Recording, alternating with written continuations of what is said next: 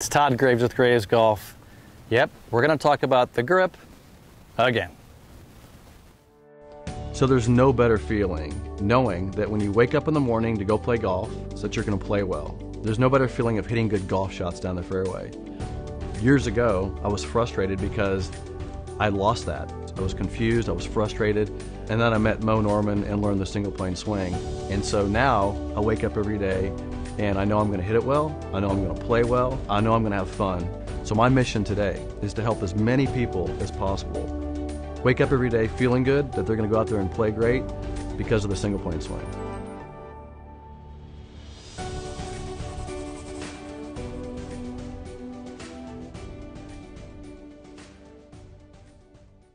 Welcome to the channel today. Listen, I don't know if there's more of a topic that I haven't discussed in my years of teaching the game than the grip.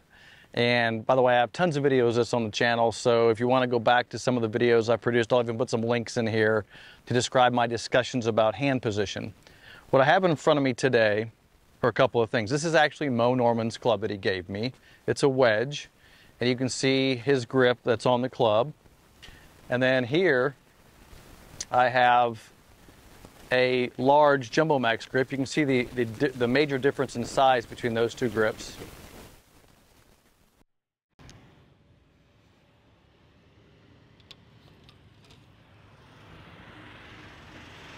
And then this is my grip. So this is a, larger grip, but now you can see Moe's grip, my grip, and the Jumbo Max grip. So you can see those three grip sizes right there. And you can see that my grip is actually probably a little larger or just about the same size as Moe's grip. Now, the discussion we have to have, there's actually two discussions to have here. One is 10 finger versus overlap. I want to talk about that. The other discussion I want to have is the discussion between palm grip and finger grip. And God, it pains me to talk about this anymore. But everybody can, oh, I also want to talk about baseball grip. Look, let's get something really clear about baseball grip. Baseball players put their thumb on the side of the club. I'm not saying you can't hit a golf ball that way, but when people say Moe had a baseball grip, he never had the thumb on the side of the club. So let's get that out of the, out of the question. The other thing I want to talk about is function. The hands, how they function in the biomechanics of the swing. Because you may be one of those people that says that you're grabbing it like a baseball or a 10 finger, whatever. Okay. I want to produce an environment with the grip that helps the club face move correctly. Most of what happens in a golf shot is relative to face angle. So we need to get the face angle correctly on the, on the golf ball. So we need the hand to match the face angle. That's important. And I need to be able to produce speed. That's a function of the wrists and the arms and the body. So we have to get the wrists working correctly. And keep in mind, and I've done a video on this before, the hands are simply clamps. The hands do not move the club. The hands perform, they basically are clamps that hold the club and now they determine how the wrists can work.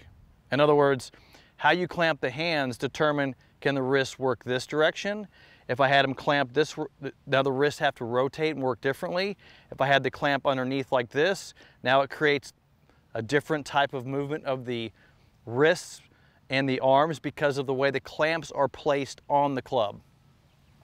So I want to clarify that, that you know, people say grip in the palms like this.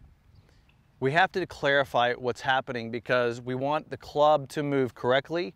We want to produce the maximum amount of speed and leverage in the club. And we want to be able to square the face to the ball. So I'll go through this one more time here with Let's just talk about 10 finger versus overlap. I'm gonna do something really quickly. When I set up like this, that's overlap. Okay. Now, I'm gonna put my hands 10 finger. And I bet you barely see a difference. Do it again. Overlap, 10 finger. Overlap, 10 finger. Do it again. Overlap, 10 finger. Overlap, 10 finger. Now, why am I doing that? To show you that there is so little difference between a good overlapping grip and a good 10 finger grip, but here's where people make the mistake. Now, I am an overlapping guy. Why? Because when I put the lead hand on there, which I think is extremely important to get this correct, we'll talk about that. When I get this hand on there, this, I want the only lever that matters in this hand, the only one that matters is the longest lever I can make with this, with this particular clamp. That lever goes from this wrist joint to this index finger because that's where the pressure in that lever is going to be. That's the pressure in the clamp. So that is the lever. Just like when you throw a rock or skip, throw a rock or skip a ball, or, or actually it'd be throw a ball, skip a rock. But when it, whenever you skip this object here, you can see the, how the lever works. And that's the function of the wrist and how the hand is. So rotation matters because you know you don't have to you don't have the the uh, the clamp like this and you got to rotate the clamp. We're going to place the clamp in a non-rotational position so it can work with the wrist like this. But the thing is the wrist, that pressure point, that lever, that's like a long wrench. That lever on the end of the hand is important. So it doesn't really matter if I have it here or slightly there. 10 finger overlap, 10 finger overlap. Let me tell you what does matter though.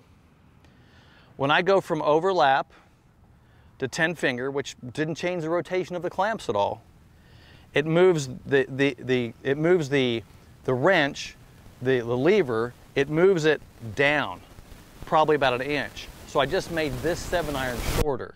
Does that make, make sense? Because I effectively made the club shorter. And here we go. Now let's have this conversation. Everybody says, well, Moe, with a 10 finger grip, hit it shorter. Or, or they'll say, I hit it shorter with a 10 finger grip. Well, it makes sense because if you go from overlapping to 10 finger and you shorten this club by an inch, you've taken a seven iron and made it a nine iron length.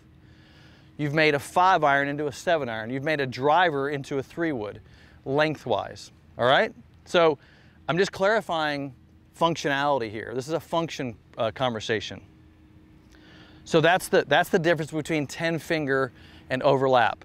Do I like them both? I like overlap better. I, I think people unify their hands better. They get their, they get, to me, getting the wrist joints closer together, these two wrist joints closer together is a lot easier to get the hands to work as a unit together so they can perform speed and function on the club better. So I prefer overlapping. And those of you who have trouble overlapping are just doing it incorrectly. You're just, you have pressure in the wrong parts of the hands. I have no pressure on my pinky at all. All the pressure is held in this hand and it's skipping rocks with this hand. So this hand is, is barely on the golf club. It's no pressure. But here's where people run into lots of issues with their trail hand position is they keep grabbing it and putting pressure on this trail hand.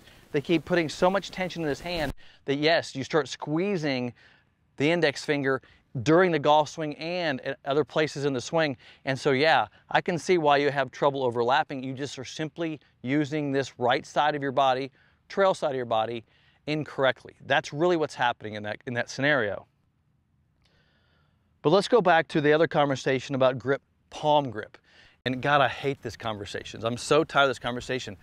Palm, palm, palm. And here it is. I never, in the time, the 10 years I spent with Moe Norman, ever once saw him hit a golf ball holding the club in the palms of his hands. Matter of fact, I took videos, I took pictures, I have all types of evidence showing that he never ever actually held the club in the palms of his hands and hit a golf ball. But what he would do was he would say, Hey, yes, I hit it from my palms.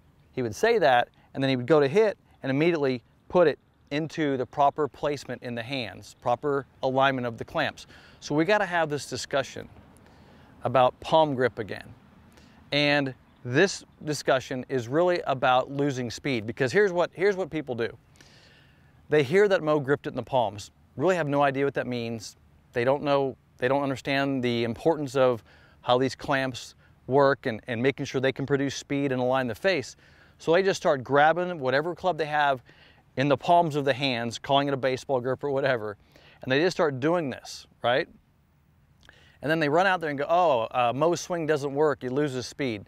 There is no reason you should lose speed using the proper Moe Norman single plane swing. The reason you're losing speed is because you're doing it incorrectly.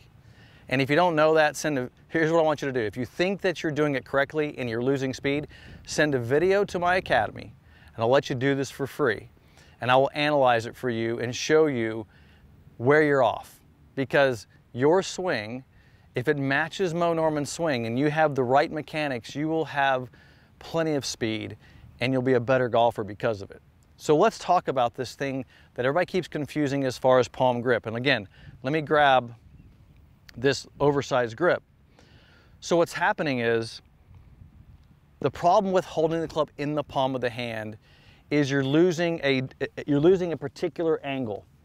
And I can demonstrate it at a couple different places.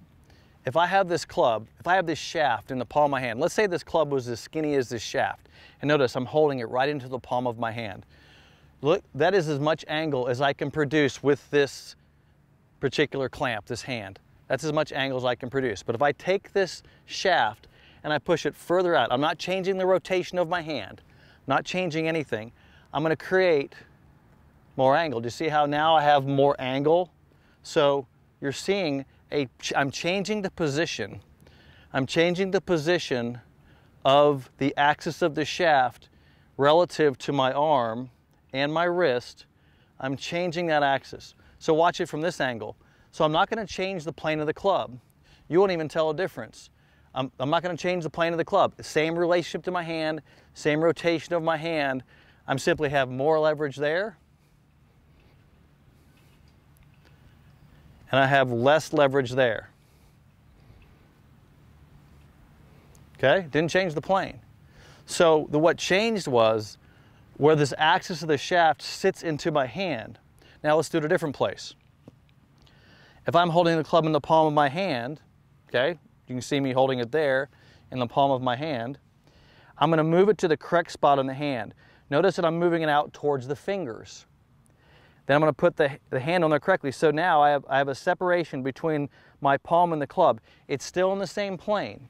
I'm not changing, there it is there, there's the correct spot.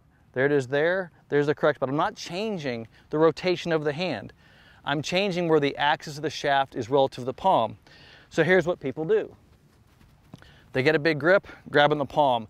The axis of the shaft is way too close to the wrist. And now they have no leverage. When if the, and I can't seem to pull the axis out far enough because the grip is too big. So now, when I grab the correct size grip and I take it back and you look, I'll take my thumb out of there.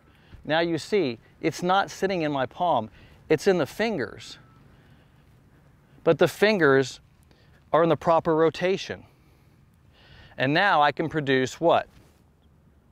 Speed, because the club now has more angle, which gives it more time and more energy, and I can accumulate more speed because it has more time and a better angle that's produced. So again, here's what we run into. And I'll tell you where people have the problem and I'm trying not to be too negative on this video about this because I discuss this all the time, is that if you're grabbing these big grips and holding it in the palm of the hand, there's no place for your thumb. You got the axis of the shaft too close to the wrist joint, and you're basically fighting an open face with, with the hands too close to the palm. Again, let me ask you this question. Do you wear the same size shoe as everybody? Do you wear the same size shirt as everybody? And the answer is no. And the reason is because your hands are different sizes. You need custom fit grips. Grips that fit you correctly here to line this up and correctly put this in the correct axis. And now you can produce proper leverage. So what I do with these big grips is I gotta pull that thing away from my palm and I can get away with it, but I'm pulling it out of my palm. I'm putting this grip, I'll end up choking down because it's skinnier. I put this thing, I'll get it out there in my fingers, so I can produce that leverage angle. Notice again, the big grip is not in my palm. See, I'm, I'm even taking this big grip and not letting it get into my palm. The problem you're gonna have is when that grip goes in, watch, watch, watch the angle, watch the club, watch the angle lost. The grip goes into my palm. There's my loss of angle. Now I'm gonna take it away from the palm. back into the palm. So I don't know if I can say it anymore that big grips are not the answer. Grip size, a grip size that fits your hands correctly is the answer. But more importantly, is having the grip functionally align with the arm correctly so it can square and functionally being in the trail hand so you can produce speed in a non-rotational fashion and have it line up on the single plane, which of course is nothing more than tilts and rotations of the body, having the arms correctly placed, and that aligns the club, and now you have a single plane, hands that can produce speed, and a square of the face.